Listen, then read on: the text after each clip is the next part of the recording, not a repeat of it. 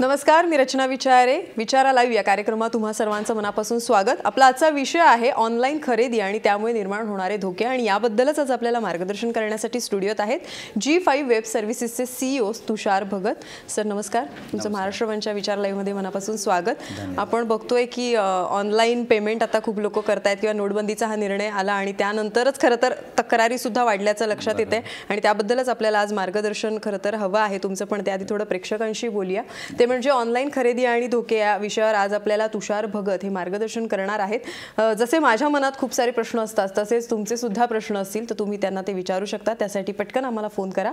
आमचा phone number आहे शून्य दोन दोन सहा एक एक एक दोन चार शून्य शून्य. आणि सगळ्यात महत्त्वाचं म्हणजे हे सांगायचं की रिस्पॉन्सिबल नेटिझम अंतर्गत शाळा आणि कॉलेजमध्ये सायबर सेफ्टीबद्दल सुद्धा स्वतः तुषार भगत हे मार्गदर्शन करत असतात. सर जसं आपण आता विषय घेतलाय की ऑनलाईन खरेदी आणि धोके आपण बघतोय की एक फेस्टिवल सीझन सुरू झाला की अनेकांचा ओढा जो आहे तो या ऑनलाईन खरेदीकडे वळताना आपल्याला पाहायला मिळतो. घर बसल्या होते ऑफिसमध्ये सुद्धा फावल्या वेळात ही ऑनलाईन खरेदी केली जाते. नोटाबंदीचा निर्णय मगाशी जसं मी म्हटलं की गेल्या महिन्यात हा नोटाबंदीचा निर्णय आला. पेटीएम सारख्या सुविधा सुद्धा ओघाने आल्या. पण त्यानंतर मला वाटतं तक्रारींचं प्रमाण सुद्धा वाढलं असेल. नक्कीच नक्कीच. जनरली काय होतं की ऑनलाईन शॉपिंग लोक जेव्हा कंपन्यांना प्रमोट करायचं असतं ते इवन फेस्टिवल तुम्ही म्हणाल फेस्टिवल बरोबर सुरू होतं पण फेस्टिवलच्या आधीपासूनच खूप ते ट्रेंड हे करतात. आणि बरेचसे ऑफर्स देतात लोकांना. आणि मला वाटतं ह्या ऑफर्सला हे करून लोक काही त्यांचे पॉलिसी न बघता डायरेक्ट जाऊन शॉपिंग करतात. आणि मग अशा वेळेला मग त्यांची थोडीशी फसगत होते किंवा ते पूर्णपणे न वाचल्यामुळे त्यांना थोडा प्रॉब्लेम होतो. तर मला वाटतं क कधी ऑनलाईन शॉपिंग असू दे किंवा हे असू दे फेस्टिवल असू दे किंवा नसू दे मला वाटतं लोकांनी ना प्रॉपर साईट समजून घेतली पाहिजे की साईट कुठली आहे ते कुठल्या साईटवरती शॉपिंग करतात. त्यांचे टर्म्स कंडिशन्स काय आहेत त्यांच्या पॉलिसीज काय आहेत. कारण साईटमध्ये कसं असतं दोन प्रकारच्या साईट आपण म्हणतो की एक ॲग्रिगेटर्स असतात जसे आपण ॲमेझॉन फ्लिपकार्ट वगैरे म्हणतो. हे लोक स्वतःची प्रॉडक्ट्स नाही विकत. ते प्रॉडक्ट्स दुसऱ्या लोक त्यांच्या साईटवरती अपलोड करतात. आणि ती प्रॉडक्ट सेल होतात. बाकीच्या ज्या साईट्स आहेत त्याच्यामध्ये कसं काही काही कंपन्या स्वतःच्या ब्रँडच्या साईट्स क्रिएट करतात. आणि त्याच्या थ्रू सेल करतात.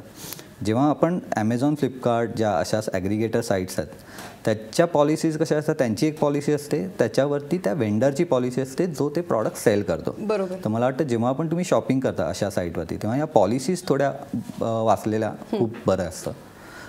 दुसरं मी सांगेन जेव्हा तुम्ही शॉपिंग करता तेव्हा अशा साईट्सवरती ॲमेझॉन फ्लिपकार्ट किंवा आपण ज्या ॲग्रिगेटर साईट्स आहेत त्या साईटवरती आधी ज्यांनी परचेस केलेलं आहे ते ना लोक बऱ्याचदा रिव्ह्यू टाकतात. ओके. की मला हे प्रॉडक्ट आवडलं का? मला हे प्रॉडक्ट कसं वाटलं? किंवा त्यांचं शॉपिंगमध्ये काही प्रॉब्लेम आहे का? किंवा शिपिंगमध्ये काही इश्यूज आहेत का? तर हे रिव्ह्यू वाचणं मला वाटतं खूप एक महत्त्वाचं ठरेल. आणि मला वाटतं तेच लोक करत नाहीत. बरोबर. एक्झॅक्टली आणि बऱ्याचदा काय होतं लोकांना खूप निगेटिव्ह असेल ना तर लोक निगेटिव्ह ह्याचा रिव्ह्यू खूप लवकर टाकतात. अशी असतील ऐंशी टक्के लोक असतील ज्यांना ते आवडले प्रॉडक्ट आणि त्यांनी कंप्लेंट नाही केली. तर तुम्हाला ते पण तिथे दिसतं की किती लोकांनी प्रॉडक्ट परचेस केलं. आणि किती लोकांनी निगेटिव्ह रिव्ह्यूज दिले तर जेव्हा शंभर लोकांनी प्रॉडक्ट परचेस केले आणि दोन जण निगेटिव्ह म्हणत असतील तर तुम्हाला त्या वेंडरबरोबर शॉपिंग करायला काही प्रॉब्लेम नसावा. तर लोकांनी हे थोडं स्मार्टली ॲनालाइज केलं पाहिजे. नुसतंच आपल्याला एखादी ऑफर मिळते आणि ती ऑफर आज एंड होणार आहे. म्हणून पटकन जाऊन काय ते शॉपिंग करायचं आणि परचेस करायचं. हे करू नये. थोडं साईटचा रिव्ह्यू करावा प्रॉडक्टचा रिव्ह्यू करावा आणि मग ते प्रॉडक्ट घ्यावा. आता जसं आपण ऑनलाईन खरेदीबद्दल बोलतो आहोत पण सर आता जसं रूल्स आणि रेग्युलेशन सुद्धा खरं तर असतात प्रत्येक साईट्सचे. पण अगदीच छोट्या अक्षरात ते लिहिलेले असतात आणि त्यामुळे ते वाचणं होत नाही आणि मग मला वाटतं की लोक तक्रार करतात की आम्ही ते वाचलं नव्हतं आणि आता आम्हाला त्याचा फटका सहन करावा लागतोय. बरोबर. काही काही साईट्सवरती ना त्या प्रत्येक प्रॉडक्टच्या इथे एक हे असतं की ज्याच्यात तुम्ही पर्सनली तुम्हाला काय क्वेरी असतील तर तुम्ही विचारू शकता. तर अशा साईट्सवरती शक्यतो तुम्ही तुमच्या ज्या मनात ज्या क्वेरी आहेत त्या विचारून क्लिअर करणं जास्ती बरं असतं. त्या विचारल्यावर ते जनरली एक दोन दिवसामध्ये आन्सर करतात. आणि त्यांनी आन्सर केलं की एक हे असते की बाबा यांनी सांगितलं आहे की बाबा हे प्रॉडक्ट आपल्याला या दिवसामध्ये रिफंड करता येईल किंवा तुम्हाला नाही वापरलं तर ते किती पैसे रिफंड होतील. ते त्या पॉलिसीज तुम्ही क्लिअर करू शकता. एवढं बऱ्याचदा टर्म्स कंडिशन्स खूप मोठ्या असतात आणि ते वाचणं खरंच शक्य नसतं. पण जेनरिक ज्या गोष्टी आहेत त्या मला वाटतं क्लॅरिफाय करून घेतल्या पाहिजेत लोकांनी. निश्चितपणे सर साधारणपणे काय तक्रारी लोकांच्या येतात तुमच्याकडे? जनरली ऑनलाईन शॉपिंगमध्ये आपण बघितलं ना तर तीस टक्के तक्रारी आहेत त्या प्रॉडक्टच्या रिलेटेड असतात. म्हणजे ज्या ओव्हरऑल तक्रारी आहेत त्या. प्रॉडक्टच्या रिलेटेड म्हणजे काय की प्रॉडक्ट एखादं सेल होतं. आणि लोकांची एक्सपेक्टेशन एक असते. फोटो वेगळ्या प्र दाखवलेले असतात. आणि मग ज्यांच्याकडे जे डिलिव्हर होतं त्या प्रॉडक्टचे फोटोज मॅच होत नाहीत किंवा ते प्रॉडक्ट त्या एक्सपेक्टेशनमध्ये बसत नाही. तर सगळ्यात जास्त म्हणजे जेवढ्या कंप्लेंट्स येतात त्यातल्या तीस टक्के कंप्लेंट्स ह्या आहेत. आपण ट्वें चोवीस टक्के कंप्लेंट्स शक्यतो ह्याच्या आहेत की प्रॉडक्ट आम्हाला सांगितलं की या दिवशी डिलिव्हर होईल किंवा तुम्हाला मिळेल हातात आणि त्या दिवशी ते डिलिव्हर होत नाही. किंवा त्याचं पॅकेजिंग प्रॉपर नसतं किंवा ते तुटलेलं असतं किंवा असं काही हे असतात. डॅमेज डॅमेज हे असतं. असे प्रॉडक्ट जनरली कंप्लेंट्स असतात पण ते कंप्लेंट तिथल्या इथे कुरिअर वाल्याकडे आपण सांगितलं की बाबा हे प्रॉडक्ट मी घेणार नाही कारण ह्याचं ऑलरेडी पॅकेजिंग तुटलेलं आहे. तर ते कुरिअरवाल्याला रिटर्न घ्यावंच लागतं. कुठल्याही परिस्थितीत. त्यामुळे अशा स्वरूपाच्याच वेग दुसऱ्या कंप्लेंट्स आहेत. नंतर बाकीच्या सगळ्या पेमेंट्स किंवा त्यांचे पैसे अडकलेत कोणी हे केलं आणि प्रॉडक्ट डिलिव्हरच नाही आलं आणि मग आता ते रिफंड नाही देते ते सांगतात की दुसरं प्रॉडक्ट घ्या. तर अशा प्र स्वरूपाच्या एक सोळा ते सतरा टक्के कंप्लेंट्स आहेत. पण तीस टक्के हा मेजर चंक आहे की ज्याच्यामध्ये प्रॉडक्टची जे प्रॉडक्ट मिळालं आहे ते त्यांना ॲज पर एक्सपेक्टेशन नाही मिळालं अच्छा. आता आपण जेव्हा ऑनलाईन शॉपिंग करतो त्या दोन ऑप्शन्स असतात पेमेंटचे एक तर तुम्ही ऑनलाईन तिथे पेमेंट करू शकता किंवा सीओडी पण असतं कॅश ऑन. डिलेव्हरी. तर याच्यात कुठे जास्त तोटा आहे किंवा फायदा आहे? मला वाटतं तोटा असं नाही आहे दोन्ही ऑप्शनमध्ये ग्राहकांना तेवढाच हे मिळतो. सी ओ डी असेल तर तुम्हाला ते पैसे नंतर द्यायचे आहेत. सध्या बरंच मॉनिटायझेशन झाल्यापासून खूप हे खूप प्रॉब्लेम येतात की कंपनी स्वतःहून विचारते की सी ओ डी असेल तर तुम्ही ते पैसे रेडी ठेवा किंवा हे करा.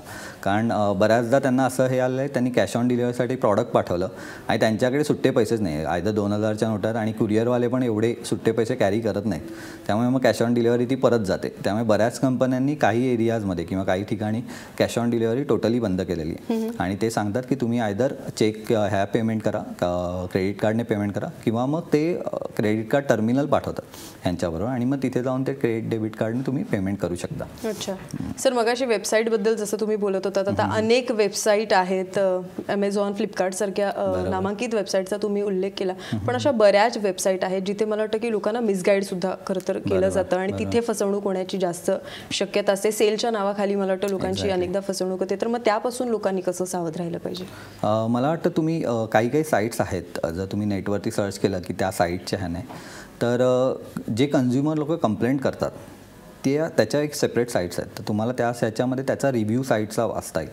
की बाबा हे नक्कीच ही साईट जेन्युअन आहे का नाही आहे बऱ्याच वेळेला अशा एम एल एम रिलेटेड पण ई कॉमर्सच्या साईट्स अशा क्रिएट केल्या जातात आणि त्याच्यावरनं सेल केला जातो.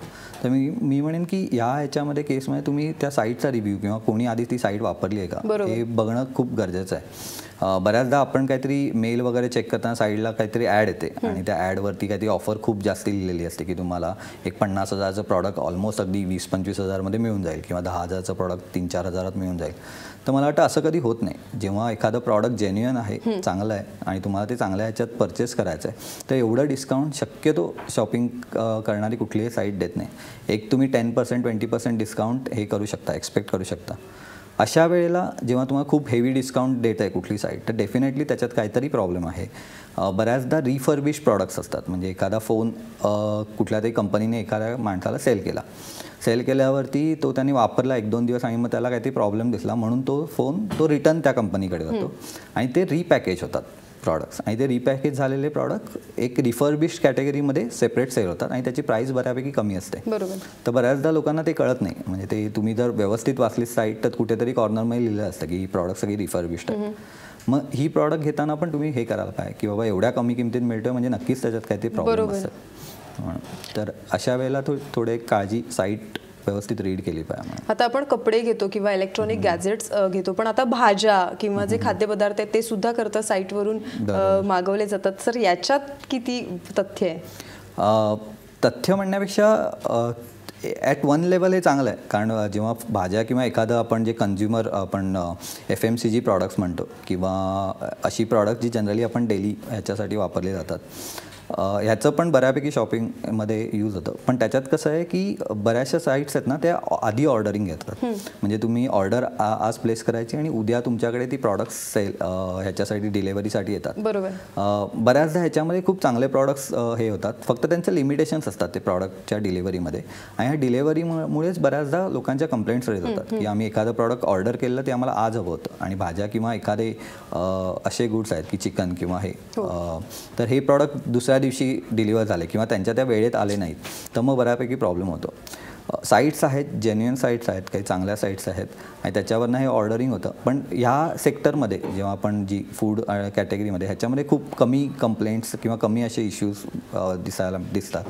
त्याचं एक रिझन हे पण आहे की अजून ते त्या लेवलवरती पोचलं नाही बरोबर. जेव्हा ह्याच्या अजून पेनेट्रेशन वाढेल की जास्तीत जास्त कंपन्या त्यांचे प्रॉडक्ट्स घेऊन येतील ऑनलाईन फूड रिलेटेड मग तेव्हा आपल्याला खरं कळेल की ह्याच्यामध्ये कसं मॅनिपुलेट निश्चितपणे. सर आणखीन एक महत्त्वाचा मुद्दा होता म्हणजे प्रॉब्लेमच खरं तर आपण म्हणूया की अनेकदा तुम्ही एक प्रोडक्ट घेता पण त्याचं जे पेमेंट आहे ते दोनदा स्वाईप केलं जातं. कार्डद्वारे जर म्हणत असाल तर. आणि मग याच्यात नेमकी काय नेमकी म्हणजे कुठे गोची होते?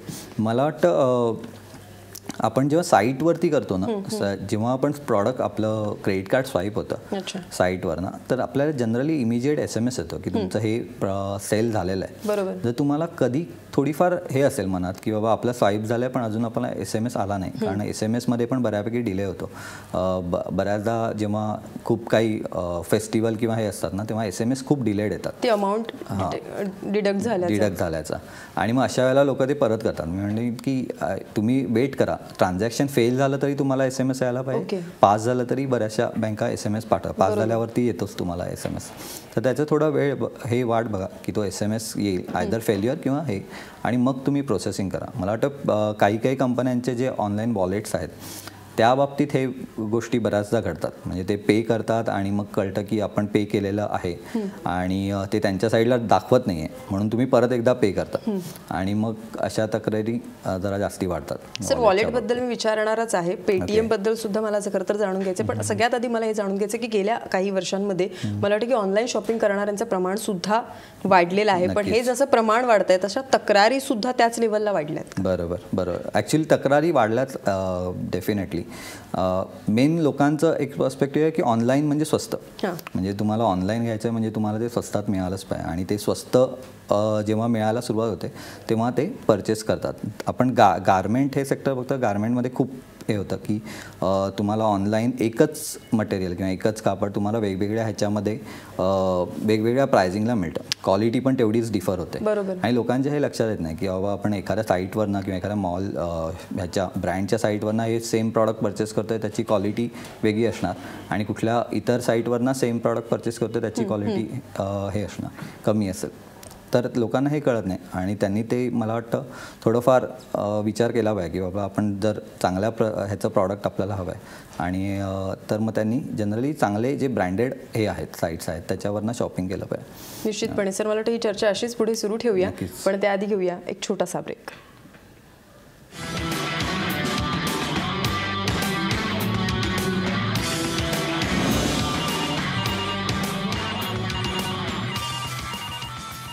विचार लाईव्ह कार्यक्रमात तुम्हा सर्वांचं पुन्हा एकदा स्वागत. ऑनलाईन खरेदी आणि त्याचे जे संभाव्य धोके आहेत याबद्दल आपण तुषार भगत यांच्याकडून मार्गदर्शन करतोय. एक फोन आलेला आहे. मुंबईहून प्रियांका शेरेकर बोलतात आपल्याशी. बोला प्रियांका प्रश्न विचारा.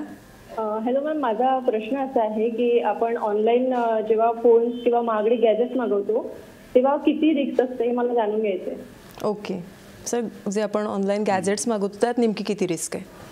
रिस्क तर बऱ्यापैकी आहे. म्हणजे तुम्ही गॅजेट्स मागवता तेव्हा. त्यामुळे बऱ्याचशा साईट्स तुम्ही बघा बघाल. ॲमेझॉन किंवा फ्लिपकार्ट या अशा साईटवरनं आपण परचेस करतो. दुसऱ्या पण साईट आहेत. म्हणजे ॲपल पण डायरेक्ट सेल करतं त्यांचे प्रॉडक्ट्स किंवा सॅमसंगचे पण साईट्स आहेत. तिथून पण तुम्ही ऑनलाईन शॉप करू शकता. दोन्हीमध्ये रिस्क हा फॅक्टर हा तेवढाच आहे. म्हणजे तुम्ही ॲमेझॉनवरनं घ्या. कारण तिथे पण वेंडरच सेल करत असतात. बरोबर. फक्त तुम्ही काय बघितलं पाहिजे? जो वेंडर सेल करतोय. हे प्रॉडक्ट ते प्रॉडक्ट जेन्युअन आहे का? म्हणजे ते त्यांच्या तुम्हाला टर्म्स आणि ह्याच्यामध्ये तुम्हाला त्यांना विचारता येईल सगळ्यात पहिले. आणि दुसरं ते प्रॉडक्ट रिफर्बिश नाही आहे का? जसं आपण मगाशी म्हटलं की ते प्रॉडक्ट कधी कधी रिफर्बिश असतं किंवा डॅमेज्ड असतं. ॲमेझॉनने एक हे चांगलं सुरू केलं की ॲमेझॉनची एक सिक्युअर्ड सर्व्हिस आहे त्याच्यामध्ये ॲमेझॉन त्याच्या डिलिव्हरीची गॅरंटी घेतं. म्हणजे ते प्रॉडक्ट जेव्हा पॅक होतं तेव्हा ते ॲमेझॉनच पिकअप करतं. ते मेक शुअर करतं की तेच प्रॉडक्ट आहे का? आणि मग तेच तुमच्यापर्यंत येतं. तर अशा काही सर्व्हिसेस आहेत. तर तुम्ही मला वाटतं थोडे पैसे तुमचे जास्ती जातील या पूर्ण ह्याच्या ट्रान्झॅक्शनमध्ये पण अशा ज्या जेन्युअन साईट्स आहेत किंवा जेन्युअन डिलिव्हरी सर्व्हिसेस आहेत त्यांच्या थ्रू ते प्रॉडक्ट ऑर्डर केलं. कारण आपण खूप बऱ्यापैकी इन्व्हेस्टमेंट म्हणतो की तीस हजार पंचवीस हजार ह्याच्या आसपास इन्व्हेस्टमेंट म्हणतो. कधी कधी ती पन्नास हजार लॅपटॉप वगैरे असेल. तिथपर्यंत जाते. तर हे ॲमेझॉनचे सिक्युअर्ड ज्या सर्व्हिसेस आहेत मला वाटतं त्या वापरलेलं जास्ती बरं पडेल. ह्याच्यात थोडी बहुत जरी आपण म्हटलं की रिस्क आहे पण अनेकदा असं होतं की हातात जे प्रोडक्ट येतात ते वेगळं येतं आणि मग त्याची रिटर्न पॉलिसी आपण कशी ठरवायची? रिटर्न पॉलिसी आपण नाहीच ठरवू शकत. रिटर्न पॉलिसी जी आहे ती त्यात तीच कंपनी ठरवते. मेन ह्याच्यामध्ये प्रॉब्लेम होतो की रिटर्न होतं प्रॉडक्ट ते म्हणतात की ठीक आहे आम्ही रिटर्न घेऊ. प्रॉडक्ट तुम्हाला तुमच्या ह्याच्यावरती त्या कंपनीला पाठवायला लागतं. म्हणजे तुम्हाला तो कुरिअरचे चार्जेस तुम्हाला बेअर करायला लागतात. मग ती कंपनी ते प्रॉडक्ट हे करेल रिसिव्ह करेल. त्याच्यामध्ये एक थोडा वेळ जातो. मग ते प्रॉडक्ट त्यांच्याकडे आलं ते म्हण बघतील की फिजिकली डॅमेज नाही आहे प्रॉडक्ट किंवा तुम्ही ते हाताळलं आहे किंवा तुम्ही ते वापरलं आहे आणि मग ते डॅमेज झालं आहे का? हे बऱ्याच गोष्टी त्याच्यामध्ये चेक होतात. आणि मग ते तुम्हाला रिफंड देतात. तर ह्याच्यामुळे बराचसा वेळ जातो. तुमचे पैसे खूप अडकून राहतात. काही काही कंपन्या त्या डायरेक्ट सेल करतात. मग अशी मी म्हटलं ॲपल आहे किंवा One Plus X G series आहे ते फक्त ऑनलाईनच सेल करतात. ते थ्रू वेंडर सेलच नाही करत. आणि त्याची पूर्ण डिलेवरी आणि हे आहे प्रोसेसिंग आहे त्या प्रॉडक्टची ती वेंडरकडे ना ती कंपनी हँडल करते. अशा वेळेला खूप कमी आम्हाला कंप्लेंट्स मिळाल्या म्हणजे ज्या जे कंपनी स्वतः हँडल करतं ना त्यावेळेला खूप कमी कंप्लेंट मिळाल्या पण ज्या आपण वेंडर्सकडनं घेतो म्हणजे एक कोणत्याही फ्लिपकार्टवरती रजिस्टर झाला आहे आणि तो वेंडर ते प्रॉडक्ट सेल करतो आहे अशा वेळेला कंप्लेंट्स बऱ्यापैकी जास्त आहेत. त्यामुळे तुम्ही जर ऑनलाईन काहीतरी गॅजेट घेत असाल ट्राय करा की त्या वेंडरची ती साईट असू दे म्हणजे त्या कंपनीची ती साईट असू दे आणि तिथून तुम्ही परचेस केलं तर जास्ती बरं बरोबर. सर आता मगाशी वॉलेट आणि पेटीएमचा सुद्धा मुद्दा उपस्थित झाला होता. ते नक्की कसं ऑपरेट होतं आणि सगळ्यात महत्त्वाचं एवढ्या तक्रारी येतात म्हटल्यावर पोलिसांकडे तर जावंच लागत असणार. तर या तक्रारी नेमक्या कशा नोंदवल्या जातात ते सुद्धा जाणून घ्यायचंय. पण त्याआधी घेऊया एक छोटासा ब्रेक विचाराला या कार्यक्रमात. तुम्हा सर्वांचं पुन्हा एकदा स्वागत सर. ऑनलाईन खरेदी आणि धोके हे तर मगापासून आपण त्याच्यावर चर्चा करतोच आहोत. पण हे वॉलेट आणि पेटीएम हे नेमकं कसं ऑपरेट होतं ते मला सांगा बरं. वॉलेटमध्ये कसं आहे की दोन प्रकारचे वॉलेट्स असतात. जनरली एक तर ओपन एंडेड वॉलेट आहे. ओपन एंडेड म्हणजे ज्याच्यातून पैसे तुम्हाला बँकेत पण ट्रान्सफर करता येतात. आणि एक सेमी क्लोज सेमी क्लोज म्हणजे कसं आहे की त्याच्यात तुम्ही पैसे टाकू शकता. ते पैसे तिथे गेल्यावर तुम्ही परत नाही काढू शकत. म्हणजे आपण बऱ्याचशा टॅक्सी सर्व्हिसेसना जे ॲप वापरतो ना त्याच्यातमध्ये कसं होतं की टॅक तुम्ही त्याच्यात टाकता मग तुम्ही परत फक्त त्या टॅक्सीसाठी वापरू शकता. बरोबर. तुम्ही ते इतर ह्याच्यासाठी नाही करू शकता. ओलाने आत्ता फक्त एक ॲप्लिकेशन लॉन्च केलं आहे ज्याच्यात तुम्ही ते पैसे राऊट पण करू शकता. तर या वॉलेटमध्ये मला वाटतं मेन प्रॉब्लेम असतो की तुम्ही पैसे टाकता आणि पैसे एकमेकांना पे करू शकता त्या ह्याच्यावरनं. त्याच्यातून पैसे परत घ्यायचे असेल ना तर त्या कंपनीच्या काही पॉलिसीज आहेत. त्याचं काहीतरी एक पर्सेंटेज डिडक्ट पण होतं. कारण जेव्हा आपण पे करतो तेव्हा आपण डेबिट कार्ड क्रेडिट कार्डने पे करतो. आणि तिथून ते पे केल्यावर त्यांना त्याचा दोन पर्सेंट वगैरे हे बसतो चार्ज बसतो. तो आपल्याकडनं ते नंतर वसूल करतात. म्हणजे ते तुम्ही बँकेत जेव्हा ट्रान्सफर करता तेव्हा. बऱ्याचदा असं पण दिसून आलं आहे की त्यांनी पैसे वॉलेटमध्ये ठेवले. आणि थोड्या दिवसांनी बघतात तर ते वॉलेटमधनं नाही आहेत ते पैसे गायब झालेत किंवा कुठेतरी यूज झालेत. ते मग त्याचं एक पासबुक फीचर असतं पासबुकमध्ये जाऊन बघतात की ते पैसे आहेत कुठे गेले ट्रान्झॅक्शन ते ते ट्रान्झॅक्शन हिस्ट्री पण मिळत नाही. काही काही कंपन्यांना सपोर्ट लाईन पण नाही आहेत म्हणजे जे वॉलेट्स आहेत त्याच्यासाठी सपोर्ट लाईन पण नाहीत की आपण फोन करून विचारू शकतो. त्यामुळे लोकांनी एक काळजी घेतली पाहिजे की तुम्ही वॉलेटमध्ये जेव्हा पैसे टाकताना एक खूप जास्ती अमाऊंट टाकत जाऊ नका. तुम्हाला आजच्या पुरतं काहीतरी पे करण्यासाठी एक हजार रुपये लागणार की दोन हजार रुपये लागणार तर तेवढेच पैसे तुम्ही लिमिटेड अमाऊंट त्यांनी त्याच्यात टाकणं जास्त गरजेचं आहे. सर मगाशी आणखीन एक मुद्दा उपस्थित केला होता की पोलिसांमध्ये जर तक्रार करण्याची वेळ आली तर साधारणपणे पोलीस आपल्याला कशी मदत करतील? आता काय झालं की सायबर सिक्युरिटीसाठी एक सेपरेट पोलीस स्टेशन किंवा सेपरेट काही पोलीस हे केलेले आहेत. जे फक्त या केसेस रजिस्टर करतात ज्या सायबर क्राईमच्या अंडर येतात ते. ह्या केसेस पण जनरली त्या ह्याच्यामध्ये जातात. पण आत्तापर्यंत असं गव्हर्नमेंटकडनं किंवा ह्याच्याकडनं पण पॉलिसी त्या वॉलेट्सवरती किंवा त्या पेमेंट बँक्स आपण म्हणतो त्यांच्यावरती लावलेली नाही आहे की त्यांनी ही इन्फॉर्मेशन एवढ्या एवढ्या वेळात किंवा एवढ्या दिवसात त्या पोलिसांपर्यंत दिलेली दिली असली पाहिजे. मला वाटतं ह्याला अजून थोडा वेळ लागतील. जशा अशा कंप्लेंट्स वाढत जातील किंवा लोकांचं जरा हे वाढत जाईल. त्या तेव्हा या सगळ्या गव्हर्नमेंट पॉलिसी बनवेल कारण शेवटी काही झालं तरी ना काही कंप्लेंट्स आहेत त्या ग्राहक तक्रार निवारणमध्ये जातात.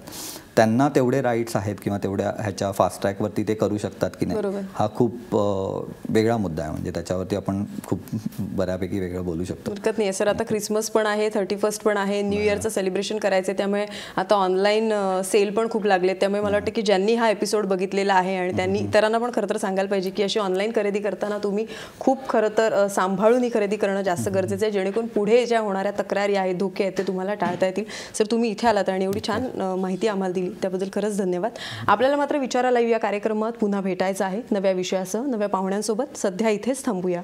नमस्कार.